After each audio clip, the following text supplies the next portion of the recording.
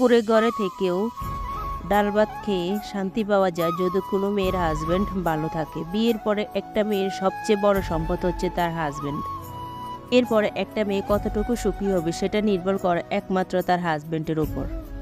Hello everyone আসসালামু আলাইকুম। কী অবস্থা সবাই? সবাই কেমন আছেন? আশা করি সবাই খুব ভালো আছেন আর আমিও খুব ভালো আছি।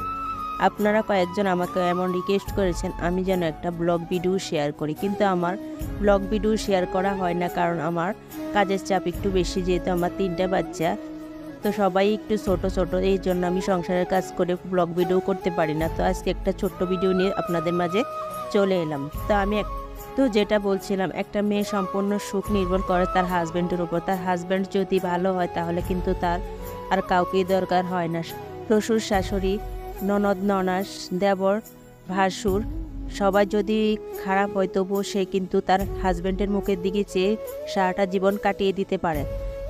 ঠিক বিপরীত দিকে যদি সবাই ভালো হয় কিন্তু তার হাজব্যান্ড খারাপ হয়, তাহলে কিন্তু সেই সংসারে সে বেশি দিন টিকে থাকতে পারে না। এর বাস্তব চিত্র কিন্তু আমাদের জীবনে অহরহই ঘটে। মেয়েটা বিয়ের পর একজন ভালো হাজব্যান্ড পেয়েছে, সে যদি কুড়ে গড়ে থাকে তাহলেও কিন্তু তার মনে অনেক সুখ থাকে। বিপরীত দিকে যদি একটা মেয়ের স্বামী খারাপ হয়, সে যদি অট্টালিকার মধ্যেও থাকে তাহলেও কিন্তু তার জীবনে সুখ বই আনে না। তোমরা হয়তো বলতে পারো যে, আজকে আমি কেন এসব কথা বলছি? তার পিছনে কিন্তু একটা কারণ আছে। একটা আপু আমার ইনবক্সে মেসেজ করেছে যে, তার জীবনের কিছুটা অংশ আমি যেন আমার ভিডিওর মাধ্যমে প্রকাশ করি। সেই আপুটা রেগুলার আমার ভিডিও দেখে লাইক করে কমেন্ট করে এবং মাঝে মধ্যে শেয়ারও করে।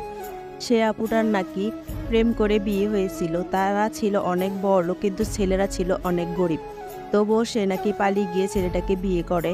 তারপর যখন সে পরিবারের কাছে যায়, তখন আর ওই পরিবারের লোক তার মানে তার নিজের বাবা মা তাকে মেনে নেয় না। কিন্তু ওই শ্বশুর শাশুড়ি তাকে মেনে নেয় এবং তাকে গড়ে তুলে আনে। কিন্তু কিছুদিন পরে দেখা গেল যে তার হাজব্যান্ডটাই ভালো না। শ্বশুর শাশুড়ি দেবর, ননদ, ননাস সবাই নাকি খুবই ভালো, কিন্তু তার নিজের হাজব্যান্ডটাই ভালো না।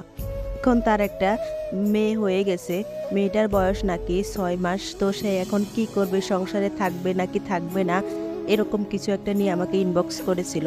তো আমি তাকে একটু বুঝিয়েছিলাম যে, বোন, দেখো, একটা মেয়ের জীবনে বিয়ে তো একবারে হয়, একটু কষ্ট করে ধৈর্য করে থাকো। দেখো, হয়তো সে আবারও ভালো হয়ে তোমার কাছে ফিরে আসবে, কারণ তোমাকে সে পছন্দ করে বিয়ে করেছে। হয়তো সে এখন ক্ষণিকের মুহে খারাপ পথে অগ্রসর হয়েছে। তুমি আল্লাহর কাছে দোয়া চাও, হয়তো আল্লাহই তোমার দোয়া কবুল করে আবার তোমার কাছে ফিরিয়ে আনতে পারে। এখানে কিন্তু মানুষের করার কিছুই নেই। শুধুমাত্র আল্লাহই পারে তার হাজবেন্ডকে তার কাছে ফিরিয়ে নিয়ে আসতে।